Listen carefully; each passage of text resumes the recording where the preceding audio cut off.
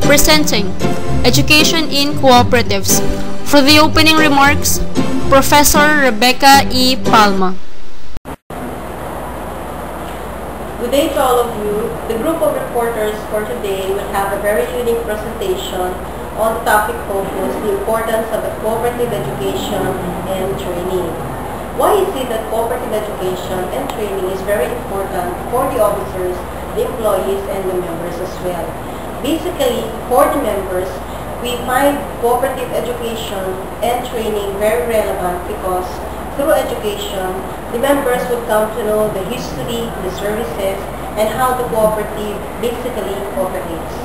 For the officers of the cooperative, education and training is very significant since it will be the basis and the form to which they will come to know to be able to manage and operate the cooperatives very well.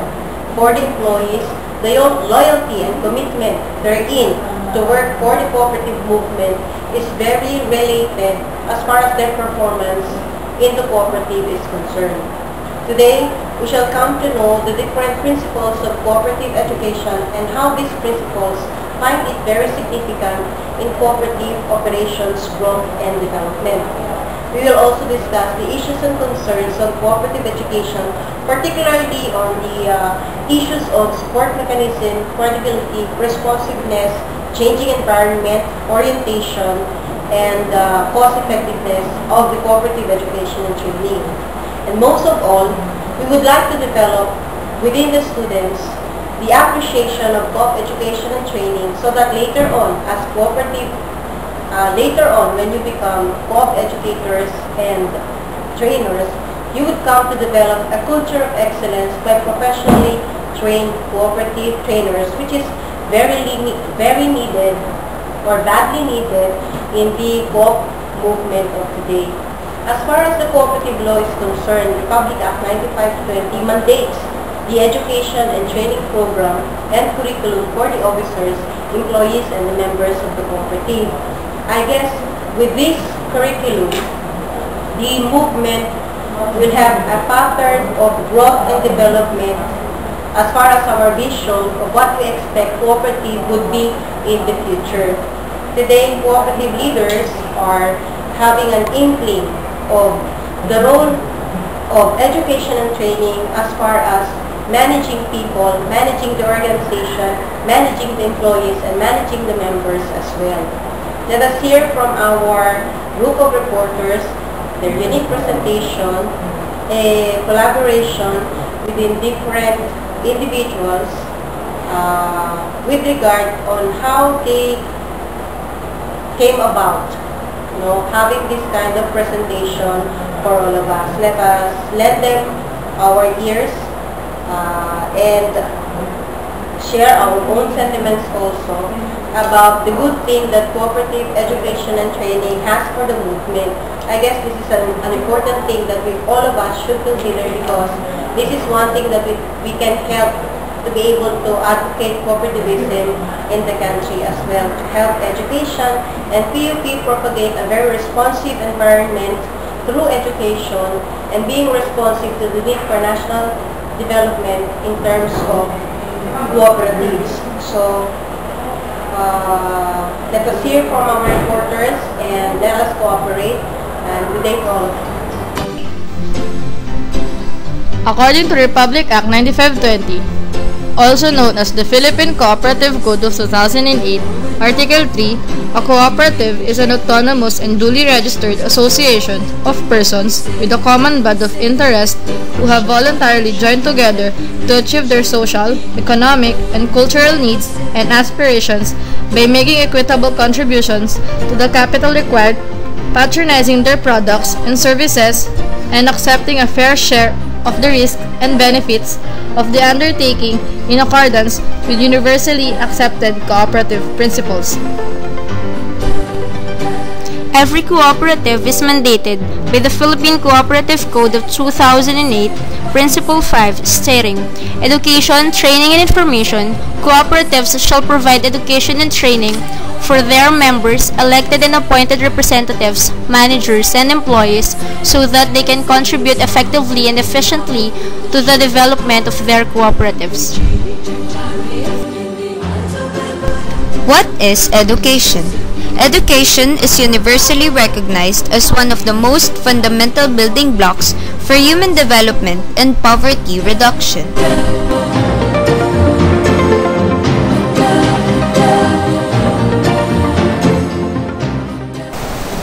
What is the importance of education in the cooperative?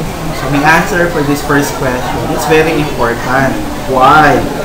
Because education provides information, education brings knowledge, so it's essential for any organization to undertake activities in education so they could inform their members of anything that is happening in the cooperatives organization. So that is to provide information and to promote awareness of activities and project program uh, that co-op provide its members. That's my answer.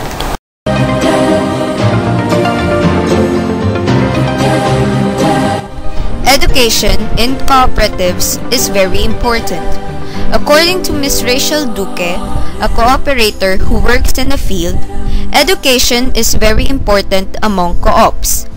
Even the International Organization for Co-ops, the ICA, believes so. That is why continuous education, training, and information is part of the principles of cooperatives. As the old saying goes, the only thing that is constant is change. Everything changes, especially now. Almost all seems to conform to the fast pace of life and adapt to the globalization and technology. Of course, cooperatives should not be left behind. The competition is very stiff, and a lot of developments occur in just a snap of a finger. Thus, the cooperative enterprise should be updated from time to time. Let us take, for example, the use of accounting software. Private companies nowadays use such software to input transactions for work efficiency. No more manual use of books of accounts, which is very time consuming. However, right now, only big co-ops could afford to buy such software. Can't afford co-ops could settle to MS Excel. Another very timely example, the new RA 9520 and the joint rules and regulations of BIR and CDA regarding taxation. Cooperators must be fully aware of the regulations governing the cooperatives. Otherwise, they will not enjoy what is due for cooperatives with regards to taxation. Sabi nga, ignorance of the law excuses no one. The bottom line, the importance of education in the cooperative is to make the cooperators, whether officers or employees or plain members, to be updated and educated. Cooperative is a business and social enterprise. Not all cooperators are knowledgeable in business, in accounting, in technical know-hows of operating and governing a cooperative, and the like. Thus, they need to be trained. Education is an investment.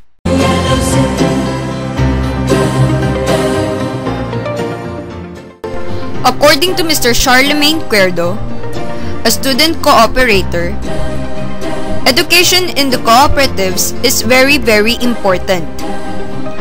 Resulta ng magandang education ay magandang future ng isang co-op.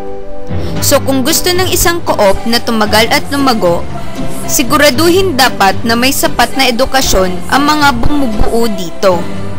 Hindi lang minsan, kundi palagian dahil palaging may pagbabago.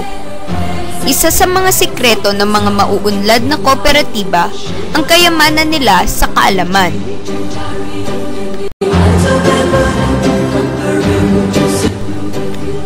Forms and instruments for information and education.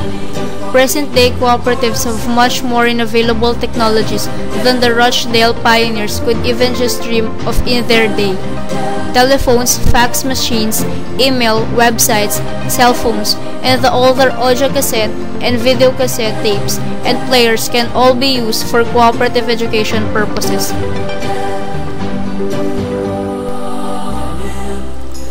Leaders of cooperatives, especially those assigned to education work, usually the vice chairpersons, are challenged to seriously think and brainstorm on the possibilities of maximizing available technologies to augment our education instruments, especially in the light of difficulties in physically gathering co-op members for traditional forms like seminar sessions.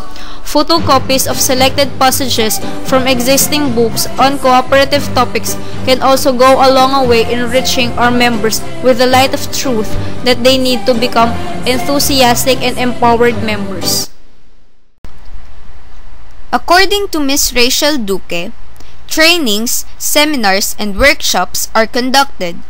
For the employees, sometimes they are being sent to seminars conducted by other organizations. In the cooperative structure, under the BOD, there is a subcommittee called Education Committee, headed by the Vice Chairperson of the BOD. They are in charge for the education and training. According to Ms. Rachel Duque, the instruments being used are the usual PowerPoint presentations, meta cards, visual aids, charts, video presentations, handouts, and etc. Ayon kay Kuya Charlie Cuerdo, depende din sa kailangan ng community at mga empleyado. Kung may pagkakaiba man siguro sa type ng training, pero ang layunin ay iisa, ang mapaunlad ang sarili at kanilang kooperatiba. Information and education for the broader community, quoting Mantalaba et al. in the Cooperative Principles Alive, in relation to the fifth cooperative principle is recognition of responsibility to inform the youth and opinion leaders about the nature and benefits of cooperation. This concern is to let the young and opinion leaders understand the concepts and benefits of cooperation and cooperatives so that they too could be contributors to the movement and the entire society's growth and development. As cooperatives go on realizing their goals and increasing their capabilities, more and more things are accomplished along the way. The cooperatives become successful one after another. Society becomes more conscious of the roles of cooperatives in a larger picture. In a community that is educated enough about the essence and principles of cooperativism, the cooperatives attract in large numbers the properly motivated applicants for membership. This is very important in upgrading the quality of the cooperative membership. Moreover, the instructors in the pre-membership education seminars are no longer talking over the heads of the seminar participants. Unquote.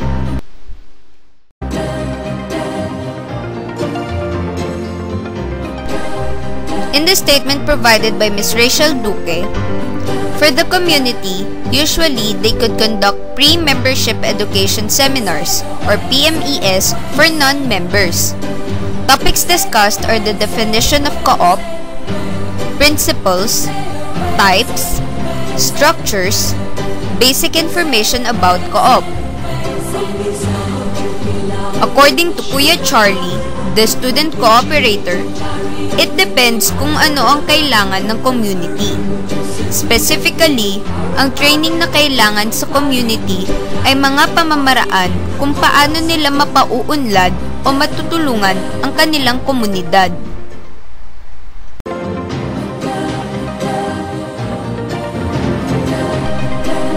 For Ms. Rachel Duque, it depends also on the training.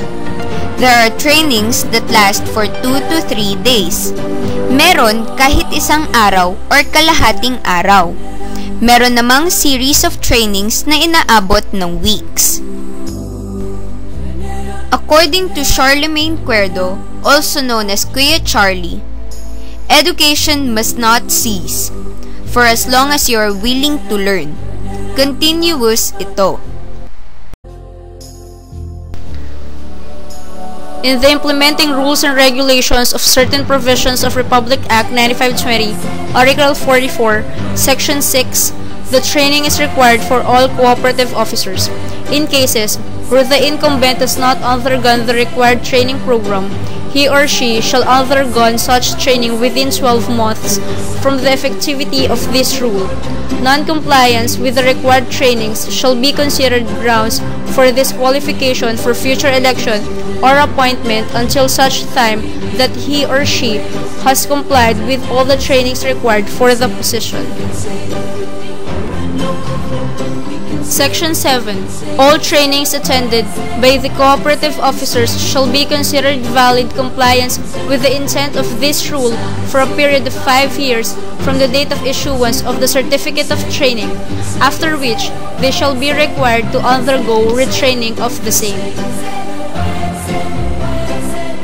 Section 8.